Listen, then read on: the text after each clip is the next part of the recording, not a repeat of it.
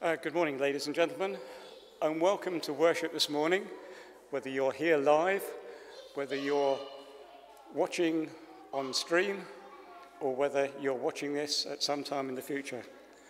So, whenever and wherever you are, you're most welcome to our Harvest Festival service with the parades as well. On your behalf, I'd like to welcome Jessica Dalton for preparing and leading this morning's worship. Um, if I can just quickly run through a few of the things that are happening this week. Community coffee will take place in the lounge on Monday and Wednesday, as usual. And on Wednesday at 2 o'clock, Gretchen's house group will meet at our home, and they have Andrew Brazier coming to speak with them. Also on Wednesday at 8 p.m., um, the HHMC and Lay Hill Bible Study Group will be meeting on Zoom.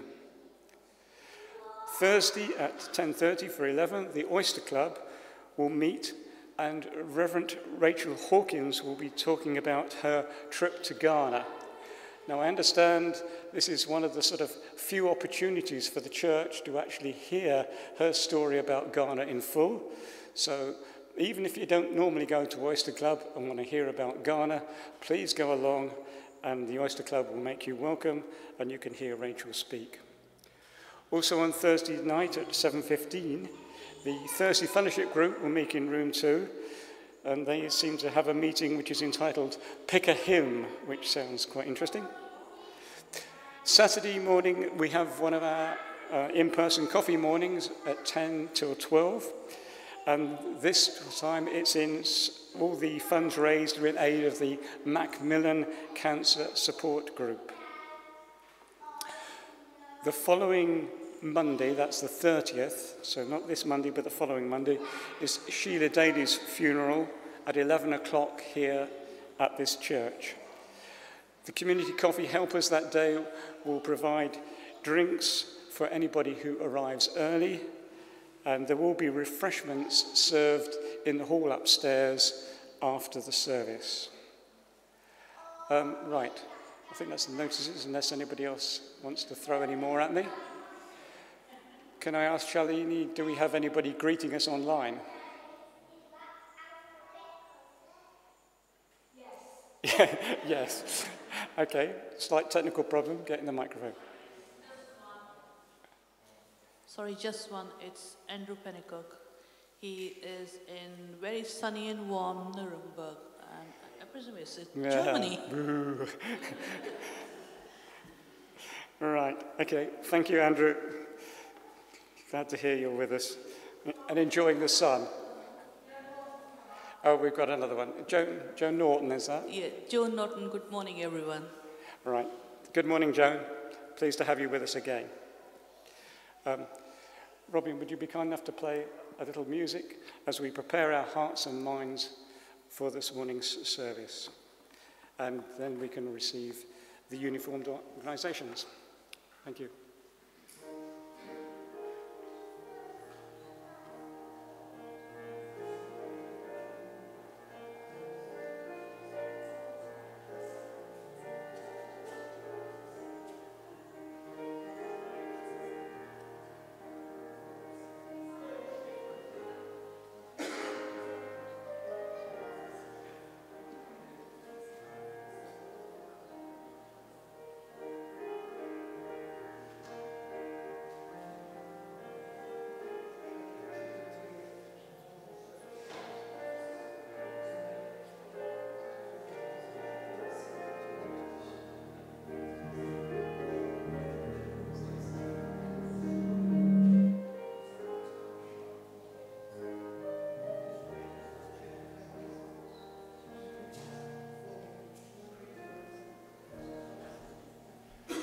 Would you kindly stand, ladies and gentlemen, so that we can receive the guides and brownies?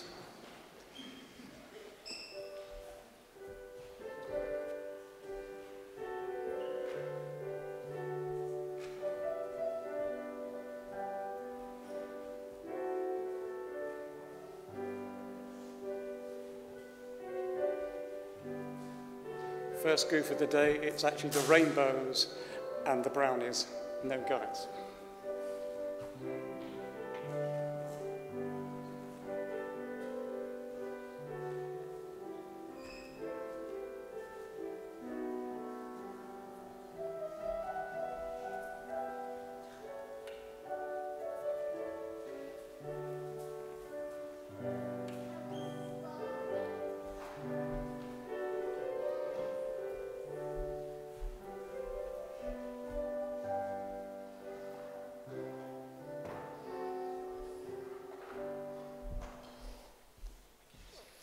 Please do be seated.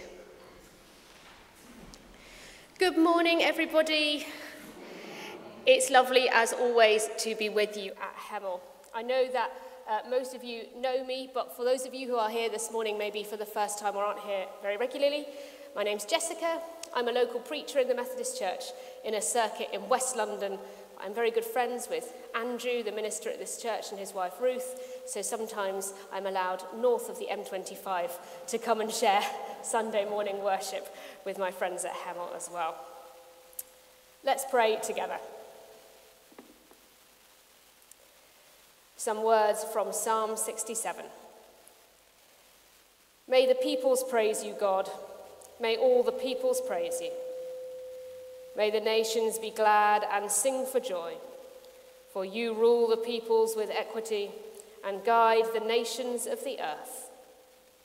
May the peoples praise you, God. May all the peoples praise you. The land yields its harvest. God, our God, blesses us. Loving and sovereign God, we praise you for your kindness and your generosity. You alone are worthy of our delight and worship.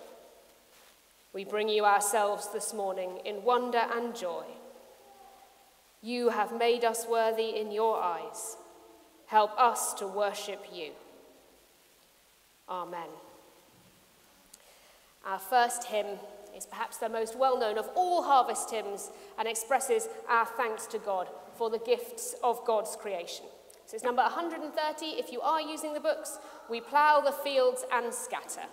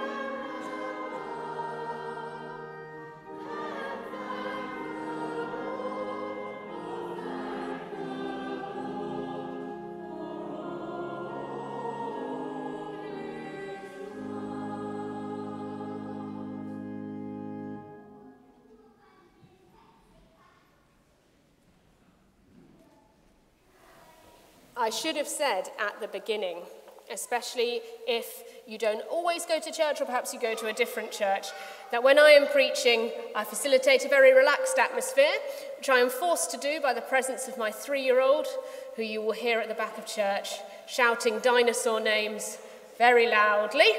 So please do not worry about moving about or doing whatever it is you need to do. Everybody is welcome to be themselves here and know that, I mean, it's not a challenge, but whatever you do probably won't be as loud as the dinosaur names that sometime come into my sermon. But I would rather have the dinosaur names than what I once had when Billy was a bit younger, where I paused in a sermon for what I thought was a moment of reflection. Billy very loudly from the back said, It's the end.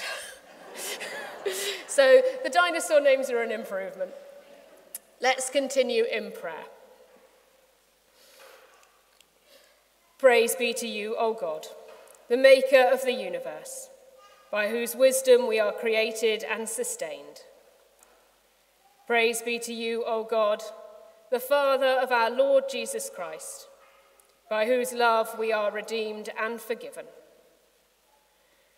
Praise be to you, O God, the source of all holiness, by whose Spirit we are made whole and brought to perfection. Praise be to you, O God, source of all being, eternal Word and Holy Spirit, as it was in the beginning, is now, and shall be forever. Amen. In our Sunday service, this is normally when we come to the time where we offer God our prayers of thanksgiving. And of course, this morning we are particularly mindful of the gifts of harvest. And to my right, we've got hundreds of beautiful gifts that remind us of the gifts of harvest. But of course, including that, there are also lots more things to be thankful for in our lives. The world is full of God's blessings. So instead of our usual prayers this morning, we're going to play a little game of Thanksgiving tennis. So you need to turn to somebody next to you and make a pair. You can make, if their numbers aren't even, you can make a three. That's also fine. Okay, so turn to the person next to you, you've made a pair. And then for just two minutes, you're going to name something little or big that you are grateful for, and then you're going to knock it back to your partner who will do the same, as if you're playing tennis between the two of you. So it can be as big as I'm thankful for friends or as little as I'm thankful for the shopkeeper who smiled at me this morning. So the person who doesn't run out of big and little things to be grateful for is the winner. But I think that most of us can probably keep going between the two of us for two full minutes. So you've got a couple of seconds to fill your minds with things to be thankful for ready to play. And I will time two minutes. Ready, steady, go.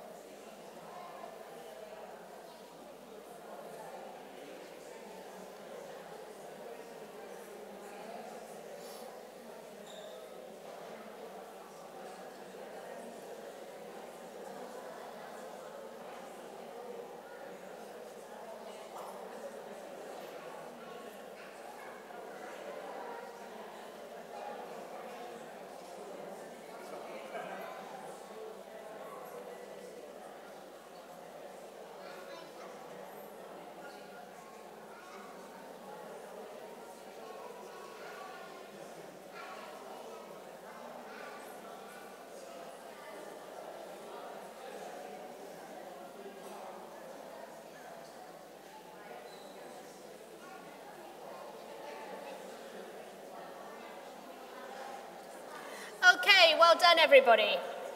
Let's come back together. And I will say a prayer that lifts all of those things that we've named and gives thanks to God. Generous God, for all the gifts you have given us, for all the places we feel something of your love for us, for all the ways we know your presence with us. We give you thanks and praise. And this morning we pray that you would help us to always be people of gratitude. Amen. We're going to think a lot this morning about harvest being a time of thanksgiving. It also is a time to think about how we can be generous with what we're given. And there's this relationship between our thanksgiving to God for the things we have and then thinking about how we might share what we have with others. Now, this morning, it looks perhaps most like our sharing and giving of food. But it might also mean giving time to help others or collecting money if and when we have some to spare. And this morning in church, we're collecting money for All We Can, which is the Methodist Development and Relief Agency that work all over the world on lots of different projects to help those who have very little. And we're going to watch a video now before we hear some readings from Scripture. That explains one of the projects that All We Can is working on. And it helps us to see that generosity, in whatever form it takes, money, skills, time, giving of our gifts, enables other people to flourish and to enjoy life, to realize their potential and move towards their calling in God. Now, unfortunately, the sound quality of the video when you're watching it on a big screen is not brilliant and the subtitles are quite small. Um, but we're going to give it a go anyway. I think we're going to turn off the lights to help us see the subtitles as best we can. Um, but it, I'm afraid that when you're, it's really, uh, the best sound quality is if we all had our own laptops and we were all plugged into headphones. But with that not possible, we should do our best to try um, and listen to what is being said in the video. But um, the pictures also tell a good story and we will come back together at the end. So we're going to watch that now. Thank you. I was already giving up. Got children, you have to go be telling people no food to eat. So the best thing I could do is to die. Because I got tired of my children. Mm, everybody is looking up to me and they are not getting anything. My auntie told me, school are not for women. I said, I want to go to school. She said that she don't have the hay because at time my father was dead. And I saw hatred rising from all anger, which caused me to leave home and get into the street. In the context of Liberia, majority of our people are illiterate. After the Civil War, a whole generation have missed out on education. Mothers around here are single mothers, you know, and upbringing of a child, just a single person, and then more you can read and write, you almost like in the dark. I heard about the school through a little girl who called me Inkling. But we came the same but then let's start with the actual literacy so you can be able to write your name. Literacy is the bedrock for our organization. I see other literacy as the thread that holds everything together. Help them to be able to find uh, something to do, maybe a job. It builds self-confidence and self-esteem. For those who can read and write, some of them have very brilliant ideas, but they don't see themselves as people who are worthy of any contribution. They don't think that they have anything to offer. And then when people are making decisions, they don't count on them. So most of the uh, benefit that they should have gotten, even from uh, government or other sources, it doesn't reach them. For women to get literacy skill, it's important that me now can wear my knee. It's good to know what you want to be and what you want to do. So it's good for women to learn to read and write. Most of what we're hearing from the learners, you know, we're completing is that to read and write is good, you know, but after that, what next? We are led by the community and the issues uh, impacting them. In fact, they have more ideas better than us. They know exactly their issues. The community has so much. You just need somebody to help them to see clearly what they have and how best to value what they have and make use of it. I graduated from year 2017 I got the machine. I started practicing on my own. And I started getting customers small, small. I started getting strength. Kids who have vocational skills, they can they, they quickly become independent, generating some funding to help themselves. They are able to advocate for themselves. They make their own decisions. Tutoring job mean a lot to me because I said now I'm able to feed myself, help my children with their schooling. You can see me now, I can, I can sew my clothes. I have one glass kite, one white glass with a shower slipper. And I wore this to service for three years. People who saw it only felt it was a uniform, not knowing was the only clothes that I have to wear. And today, I can change clothes any hour, anytime. I got free now. Yes, nobody can to me. I'm giving up. You don't give what you don't have. The significance of the partnership with All We Can. One of the good things is they said to us, we're not here to tell you do this or do that. We see them as a true partner. True partners will work with you in a way that when they are gone, you're much more better than they met you. Chef have caused me today that I can sing. I was a baker, but today I'm not a giver because I'm not only eating my own, I'm also stretching it. Yeah. We invite you to join Shift today to help communities to tailor their journeys and fulfill their potential.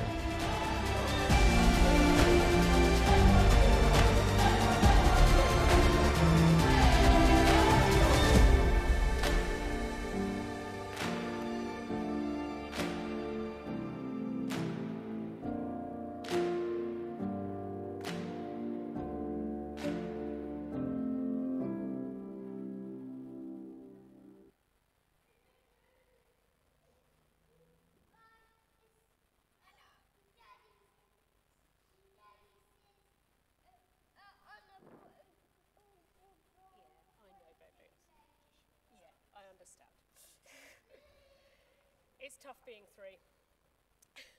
I hope that video, um, if you are able to give to the church collection today, that video gives you a sense of where that money is going. But I also think what's really important and really interesting in that video is what the woman who has been helped by the work of All We Can says. Because she talks about how now she has been helped, she has gone on this tailoring course and has learned how to make clothes and sells the clothes that she's made. It's really important to her to talk about how she now gives. So she has been helped by this organisation and she now has an overflowing of that generosity and wants to help others. So there's this kind of, there's this huge thing that we as God's people are invited to be part of, where we give and then that giving multiplies and multiplies. The words of the next song, I hope, will help us to reflect on the message of that video and will prepare us to hear some readings from Scripture. So if you are using the hymn book, it's number 255, but the words will be on the screen. The kingdom of God is justice and joy. 255.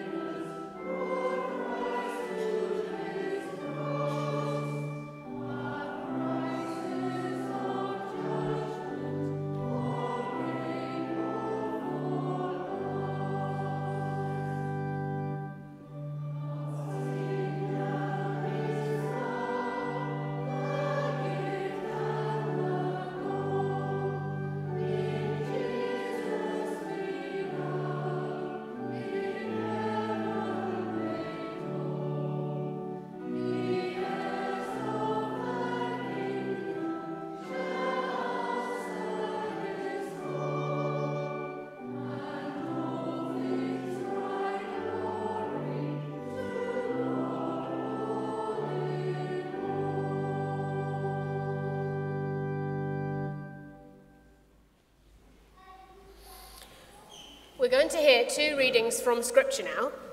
So the first is from the Gospel of Mark, and then the second is from the letter of James. And we'll hear them both, just one after the other.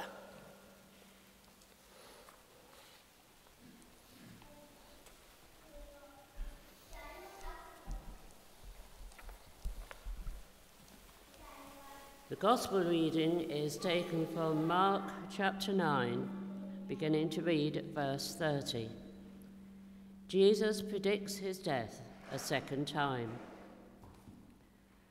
They left the place where they were and passed through Galilee. Jesus did not want anyone to know where they were because he was teaching his disciples. He said to them, The Son of Man is going to be delivered into the hands of men. They will kill him, and after three days he will rise but they did not understand what he meant and were afraid to ask him about it. They came to Capernaum. When he was in the house, he asked them, What were you arguing about on the road? But they kept quiet because on the way they had argued about who was the greatest. Sitting down, Jesus said to the twelve and said, Anyone who wants to be first must be the very last and the servant of all. He took a little child whom he placed among them. Taking the child in his arms, he said to them, Whoever welcomes one of these little children in my name welcomes me. And whoever welcomes me does not just welcome me but also the one who sent me.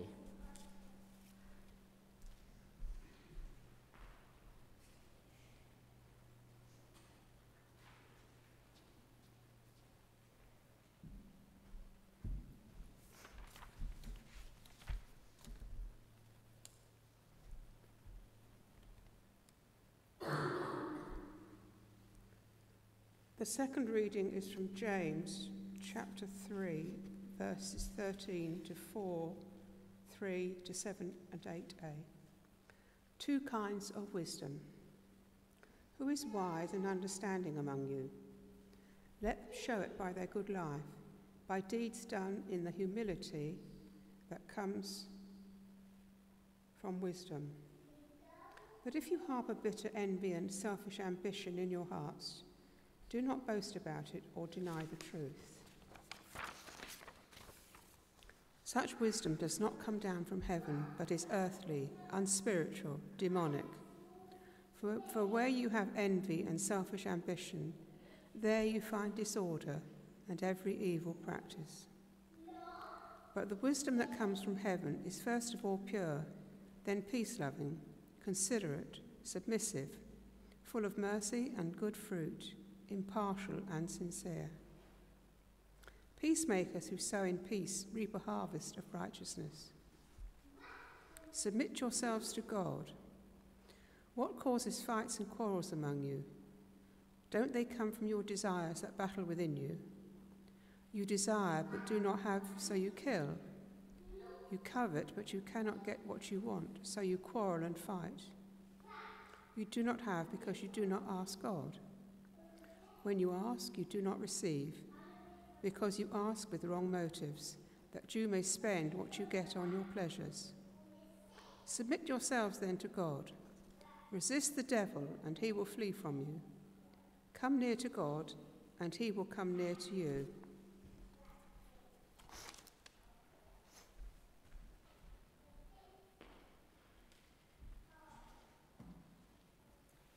Thank you both.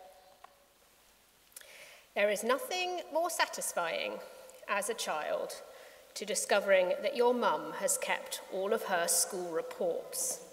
Because, of course, when you're very little, you think that your mother must have been terribly well behaved all the time at school and must have never got in trouble for anything, never been sent out of the classroom, never done anything naughty. So it was great when in my grandma's house, think I was probably aged, maybe just a, a couple of years older than our rainbows here this morning, I discovered that my grandmother, obviously thinking about my joy in the future, had kept every single one of my mum's school reports, and it turned out she was very chatty when she was at school. And I'm my favourite as somebody who was already quite interested in going to church. My very favourite part of her school report, under the heading Scripture, which is what they used to call religious education, um, or PSHE, underneath that heading it said, Sarah is virtually silent in discussion. Sometimes I'm unsure if she is present with us in the classroom. and I'm 34 now, and I still repeat that back to her regularly.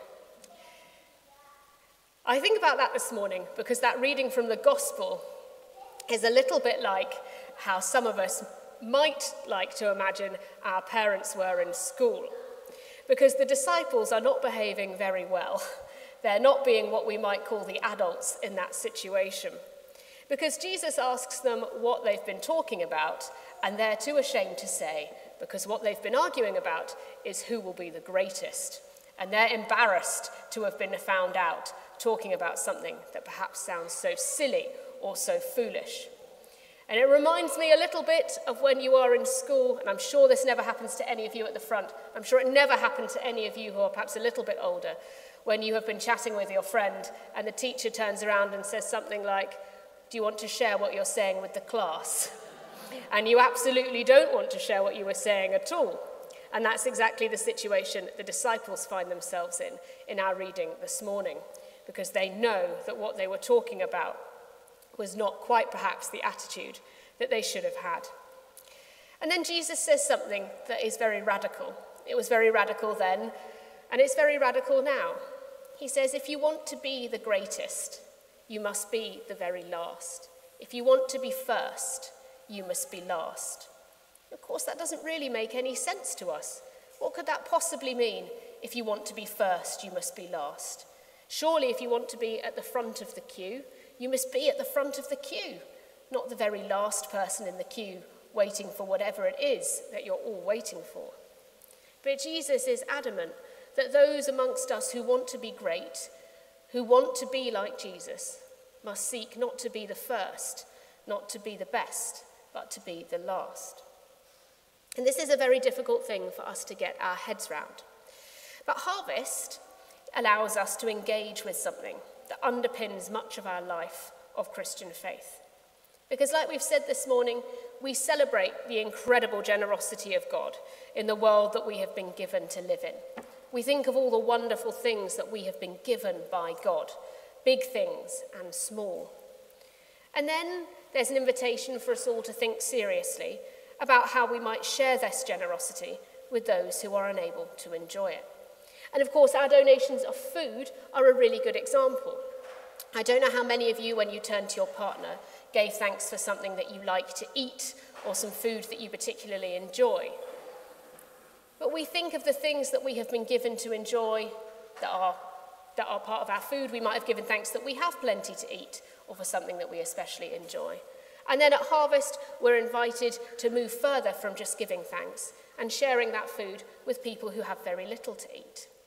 And something that always encourages me when I put something into the food bank basket at my local supermarket is that people give lots of things off the list that the food bank says they need, which is really good. But sometimes people put in treats as well, because they recognise that those are the things that bring a little moment of dignity or joy to people's lives. So they might put in some kind of fancy herbal tea or some particularly nice biscuits or some chocolates so that people can also experience a moment of joy and thanksgiving in their lives. And in doing so, we recognise each other's common humanity. So, this pattern of celebrating God's love and the, thing God, the things that God gives us, and then hopefully overflowing so much with that love that we want to share it, that we want other people to enjoy it, is a pattern that reappears again and again in Scripture and in the Christian faith. And it's a cause of much joy because it's a beautiful thing to be part of and because we have been given so much. And what we have been given is so beautiful. But it's also a cause sometimes for sadness, because when we look at the generosity of God, we can see in our world how poorly we have sometimes stewarded those gifts. and how so many people are prevented from knowing or taking hold of them. We are so grateful to God at Harvest for the gift of food and the foods we particularly enjoy. But of course, we're also called to remember that there are many people who do not have enough to eat and do not have any choice over what they eat. As humans, we're often not very good at sharing. I was paid back for my recollection of my mother's school reports by my mother reminding me of something that happened when I was four. When I had a particularly splendid green silk dress with a lacy collar in my dressing up box. And my friend came home from school and we played dressing up. And Ad had a turn in the dress, and then my friend wanted a turn as well. And I was so angry at the thought that she would have to have a turn with my dress and I wouldn't be wearing it that I shut myself in the bathroom until my friend went home. but actually, all of us, children and grown ups alike, are sometimes not very good at sharing. And that's why we find it hard to understand those words of Jesus Christ in the gospel this morning.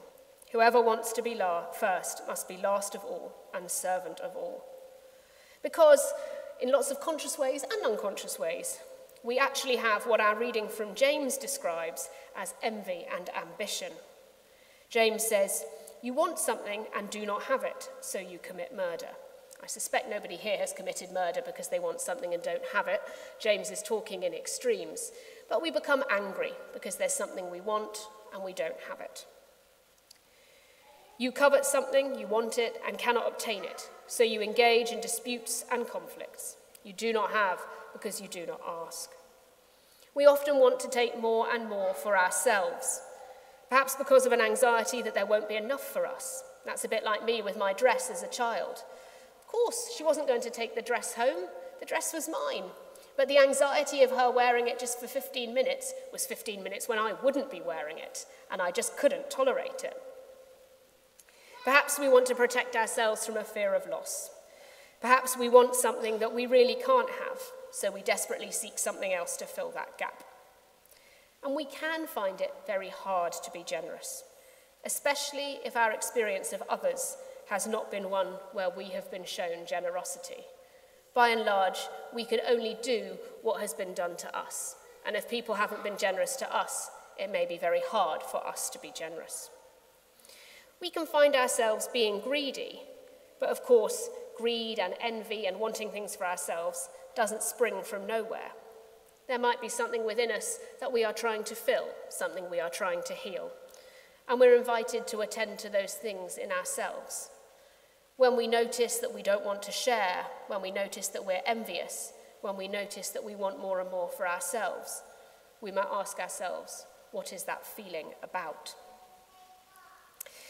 We do need to face the reality, though, that the resources of the world, these gifts from God, which should be enough for everyone all over the world, here in Hemel Hempstead, in the video that we saw in Liberia, and in places across the globe, there should be enough for everyone to live in plenty, but these gifts are not justly shared.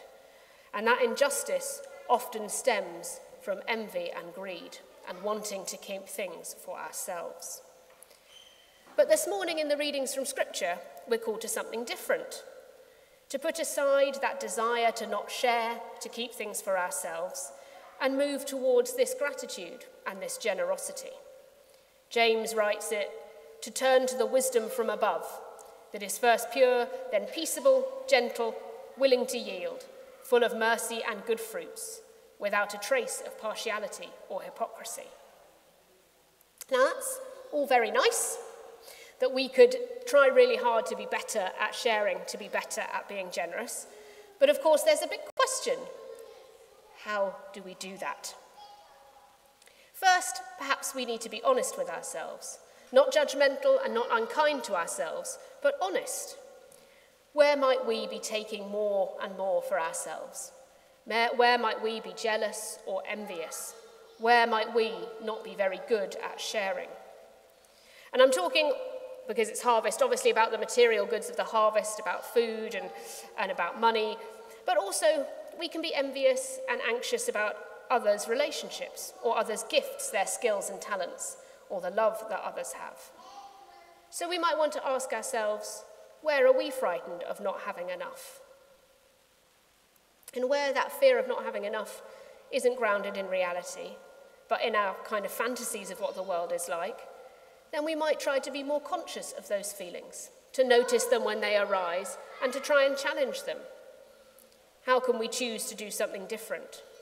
To notice that we are feeling envious to notice that we are feeling that we don't want to share, but instead of acting on them, choose something different the mercy, the peace, and the gentleness that James speaks of generosity. But there's a big danger here that we think that this is all to do with us. And then, of course, we get a bit of a saviour complex and we think that we are responsible for saving the world. And if only we individually could just be a little bit nicer, a little bit more generous, then everything will be okay. But this isn't just about our lives as individuals living and working in the world, but about the systems and institutions we are part of, participate in, or depend upon. Some of which we have no choice to engage with banks, governments, and economies. I read an article recently about a man who decided to give up money. And I thought, goodness, that's terribly impressive. And then, of course, you read the article, and in giving up money, it turned out that his friends were buying a lot of drinks down the pub for him, and that somebody else, he was growing all his own food, which was very laudable. But of course, if you give up money, there are a lot of other people who are having to fill the gap for you. There are a lot of things in the world that we have no choice but to be part of. But some of those systems are corrupt. They distribute wealth unequally and allow millions of people to suffer in hunger and thirst and slavery. Those big businesses and those corporations don't care about people in the way that that reading from Mark and the reading from James asks us to do. And that also comes from this desire to have more and more, but on a huge scale. So we need to remember that whilst we must change the things in our lives that would allow us to be more generous and allow us to be more giving, there's also a bigger picture that we are part of. And we can be an instrument for change there too. What we buy, where we invest, wherever we spend our money, we can say something about the world we want to live in. We can hold businesses to account, and we can campaign about the way that the world's systems are organised. Some things we have no choice about, but without other things, we may be able to act and think creatively or choose to do something in a different way. So in this sense, harvest is much bigger than what we see in church on a Sunday like today. It's a real call to engage with justice and to think about the way we live, to look inside ourselves, but also to look at the world, seeking out places where we might speak truth and challenge the systems that we live in. Now, we are, all have different lives. We all have different resources and limitations on our money, our time, and our responsibilities. So, the way that we seek to live differently will look different for each of us. And it's not an easy, quick answer, but an invitation to live our whole lives in a different way. How can we celebrate the good things that God has given us? How can we celebrate the abundance of God's love and provision? How can we make space for what we did in those two minutes earlier and give thanks for the things that are shared with us? And how also can we try to share that abundance, to share that goodness with others? What can we do in our own lives that would allow us to be more generous, that would allow us to be more giving, that would allow us to seek not to be first, but to be the servant of all and to be people who give?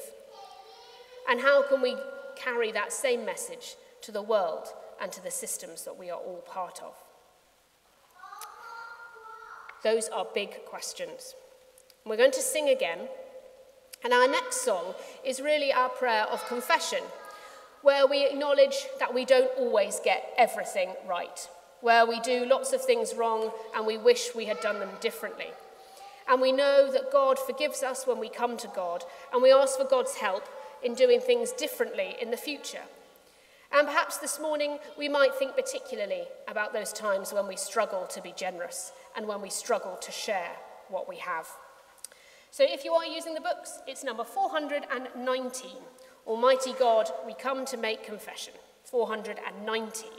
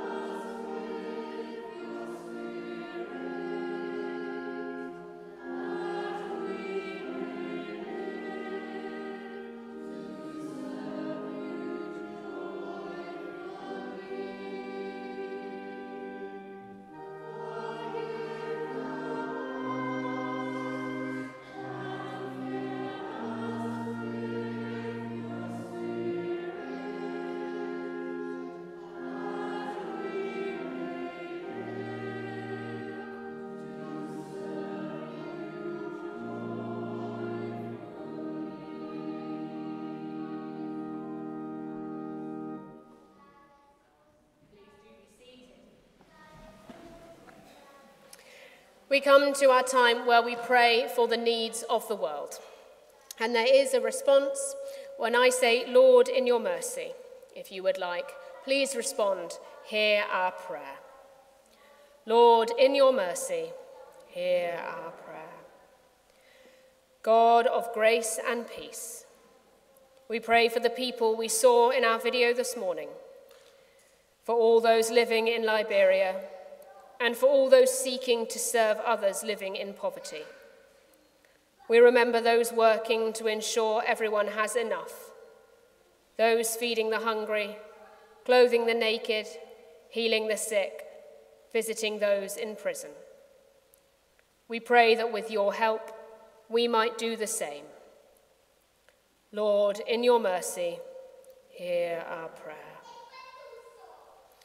God of justice, we pray for all those living in places of violence and conflict for those in the midst of war, those whose lives look unrecognizable as a result of fighting and unrest, for those whose homes have been destroyed, for those kidnapped and taken hostage, for those grieving and terrified, for those forced against their will to fight, and for the injured and the dying. We hold before you the people of Israel, Palestine, Ukraine, Sudan, and those in war zones across the world. And for those who experience conflict but behind closed doors and in their own homes, who live in fear in the places they should be safest. Lord, in your mercy, hear our prayer. Sovereign God, we pray for those who seek to lead and influence those who make decisions that impact the lives of your people. For our government here, and for all world leaders and politicians, and those in opposition. For those who act as role models, who promote ways of being and acting in the world. May all these people be guided by your wisdom and holiness, and motivated by your justice and your grace. May they be well advised and not give way to self interest and greed, but pursue mercy, peace, and gentleness. Lord, in your mercy, hear our prayer. We pray for all those who suffer in body, mind, and spirit, for the sick and the dying, the grieving and the lonely, the prisoner and the condemned, the outcast and the despised for those whose voices often remain unheard, for children, the elderly, the disabled, for those whose suffering is known only to you. And in a moment of quiet, we remember before you those who have asked us if we might think of them in our prayers.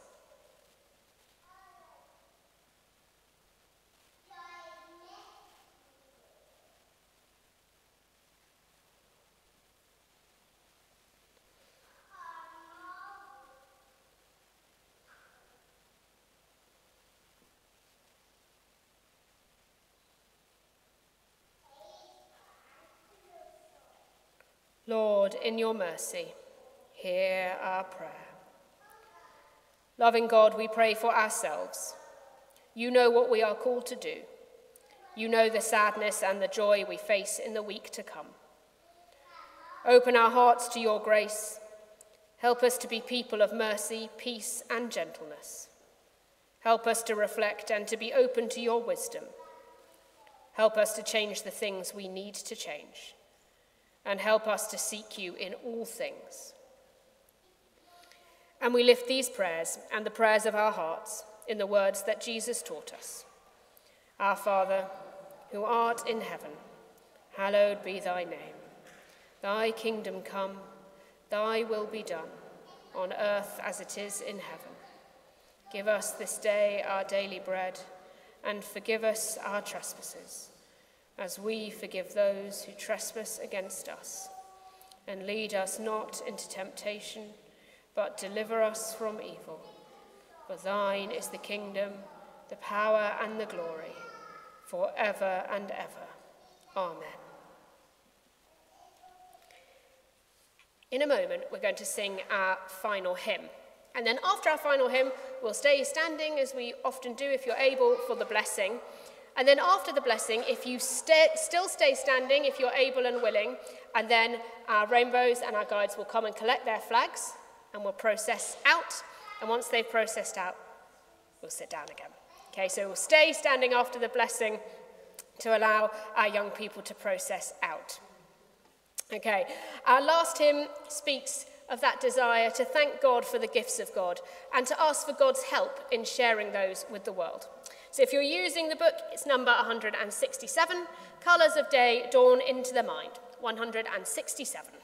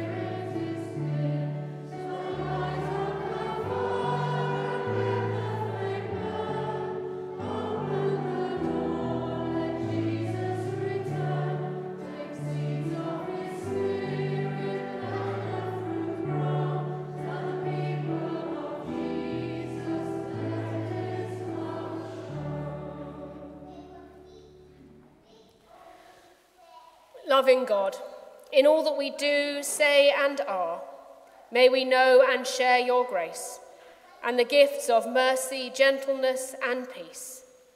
And as we seek to follow you more nearly, may the blessing of God, Father, Son, and Holy Spirit be with us now and always. Amen.